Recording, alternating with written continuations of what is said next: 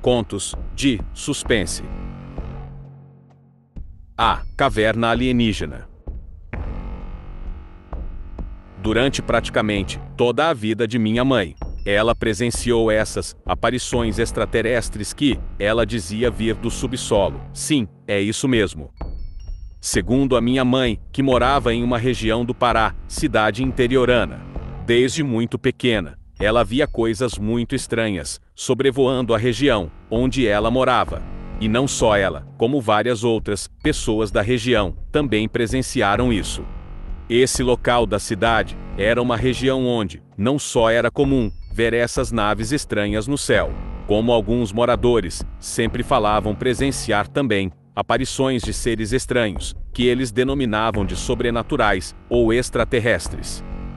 Em um belo dia, minha mãe e minha avó viram algo completamente fora da realidade para elas. Elas estavam voltando da casa de uma amiga de minha avó, quando de repente, elas avistam no céu algo muito bizarro. Era um objeto cilíndrico que estava sobrevoando o céu. Só que ali próximo aonde elas estavam, havia uma espécie de elevação, semelhante a um morro. Era um relevo todo coberto por pastos, e bem nessa elevação, tinha a entrada de uma caverna, que inclusive minha mãe contava que quando mais nova, sempre brincava com seus irmãos e primos, pois era um lugar muito legal e divertido. Minha mãe e vó vendo aquilo, ao invés de ir para casa, pois passava de seis da tarde, já escurecendo, as duas decidiram seguir aquilo por terra. Enquanto o objeto sobrevoava, cerca de alguns metros acima, elas iam por terra para ver até onde iria. E aquilo meio que pousou, vamos dizer assim, na entrada daquela tal caverna, onde minha mãe brincava, quando era mais nova. Elas ficaram completamente apavoradas, quando de longe, viram que daquela nave, saiu uns seres meio que humanoides, mas com uma aparência muito esquisita. Aqueles seres pareciam de costas, um ser humano, mas quando viravam, era totalmente diferente. Elas viram cerca de uns cinco humanoides saírem daquela nave e entrarem na caverna. Poucos minutos depois, eles saem lá de dentro, com algumas coisas tipo umas caixas, que elas não conseguiram identificar o que era. Em um certo momento, passado alguns minutos, que elas estavam ali, desde que eles saíram da caverna. Elas tiveram a impressão que eles estavam sentindo o cheiro delas, mesmo não estando tão próximas do local.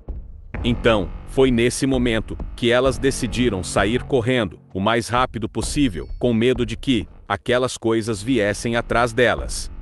Minha mãe e vó ficaram tão assustadas que, quando chegaram em casa, estavam passando mal e pálidas, com falta de ar e com medo daquelas criaturas virem atrás delas.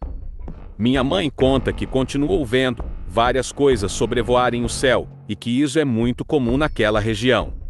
Elas ainda chegaram a contar o ocorrido para alguns moradores, que até chegaram a fazer uma checagem na caverna. Mas não encontraram nada que pudesse indicar que existissem tais coisas por lá, ou mesmo vestígios de algo semelhante ao relato. O mais intrigante é que houveram dezenas de acontecimentos estranhos, muitos dos quais testemunhados por outros moradores mas uma prova realmente concreta jamais foi apresentada, o que pode indicar que seriam apenas imaginação, histeria coletiva ou invenção das pessoas.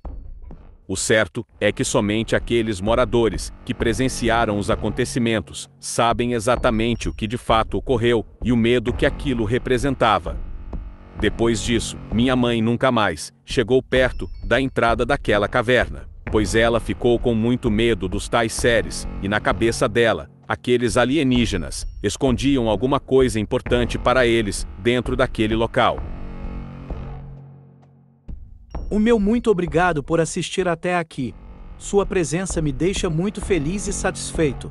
Caso goste de nossos conteúdos, considere inscrever-se em nosso canal, curtir, opinar e compartilhar para fortalecer nosso trabalho. Um grande abraço. Até a próxima.